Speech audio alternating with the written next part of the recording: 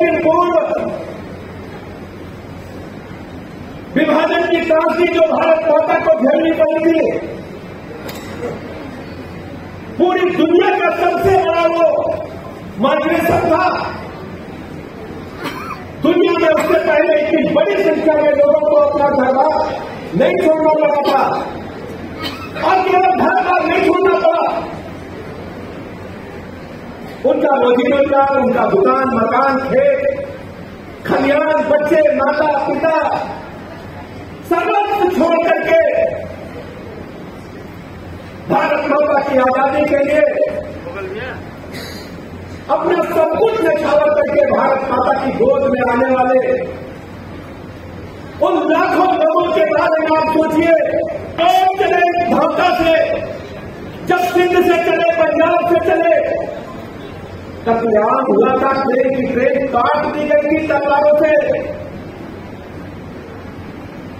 जब आज़ादी के इतिहास के पन्ने हम पलटते हैं तो महसूस होता है आज़ादी की कीमत हमें कितनी चुकानी पड़ी थी सिंह समाज के लोग बैठे सिंधी समाज के लोग बैठे हैं। माता पिता बाबा बच्चे छोटे छोटे बच्चों को तलवार से काट दिया गया था। हमारी माताओं बहनों के साथ क्या अनाचार, अत्याचार हुआ था? वो पुस्तक पर लिपिबद्ध भी हम नहीं कर सकते हैं। इतना बड़ा अनाचार हमारी बहनों के साथ हुआ। जो पैदल आ रहा था, उसे भी काटा गया था। और जो ट्रेन से आया तो वो भी काटा गया था। जो लारी में भर करके आ रहे थे, वो भी काटे गए थे। और जो नाव से पार करके आ रहे थे, भारत की सेना में, उनको भी कत्लेआम से गुजरना पड़ा। वाराणसी के लोगों से कहने के लिए आया हूँ। किन परिस्थितियों में हमें देश की आज़ादी मिली थी। हम आज़ादी की कीमत को जब याद करेंगे तो आज का भारत कैसे दुनिया के पैमाने पर मज़बूत हो, हम भारत माता के झंडे को आसमान की ऊंचाइयों पर पहुँचाने के लिए लगे रहेंगे, क्योंकि हमें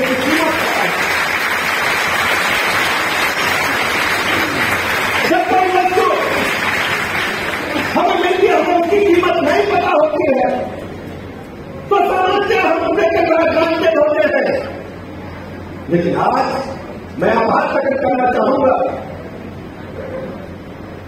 वाराणसी के लाल काशी के महान लोकप्रिय सांसद नरेंद्र मोदी जी का, जिन्होंने तय किया कि विभाजन की बीस का स्मृति दिवस हम पूरे देश में मनाने का काम करेंगे। देश की आज़ादी की कीमत क्या क्या चुकाई हमारे नौजवानों ने बुज़ुर्गों ने, हम देश की आने वाली पीढ़ी को बताने का काम करेंगे। अपनी ज़मीन जायदाद यहाँ तक कि अपनी माता को छोड़ के कोई नहीं जाना चाहता है।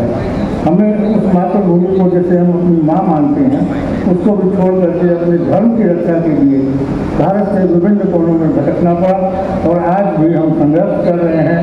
ज़्यादातर लोग स्थापित हो चुके हैं, संपन्नता की ओर बढ़ रहे हैं, राष्ट्र में अपना योगदान दे रहे हैं। यह भी हमारे लिए विभाजन में दो विशेष प्रांत प्रभावित हुए, जिसमें एक पंजाब और दूसरा सिंध। पंजाब का वो आधार हिस्सा भारत में समाहित पहले से भी था और वो मिला भी। लेकिन दुर्भाग्य यह है कि सिंध सिंध प्रांत को प्रांत नहीं कर दिया गया। आज तक उस बात का हमको बहुत ही कष्ट होता है। हालाँकि संपूर्ण भारत हमारा है, वसुधैव कुटुंबकम की विचारधारा से संपूर्ण विश्व हमारा है। परंतु फिर भी अपनी मातृभूमि अपनी मातृभूमि होती है। और इसका दर्द हरेक को हमेशा कष्ट जता रहता है वो धनाघात होता है, इससे बड़ा कोई कष्ट किसी के लिए नहीं हम यह भी जानते हैं कि अपने को स्थानीय समाज में स्थापित करने में कितना संघर्ष हमारे बुज़ुर्गों ने किया होगा। पहली बात तो भाषा का फ़र्क, दूसरी बात रहन सहन का फ़र्क, संस्कृति एवं संस्कार का फ़र्क ये बहुत ही संघर्ष का विषय है, और जैसे आप भली बात समझ भी रहे होंगे, आचार्य पाठक भी इस बात को भली बात जानते हैं। मैं जानता हूँ कि लखनऊ में हमारे सिंधी समाज में इनका काफ़ी आना जाना रहा है, और मैं भी एक कार्यक्रम में इनसे वहाँ मिला था।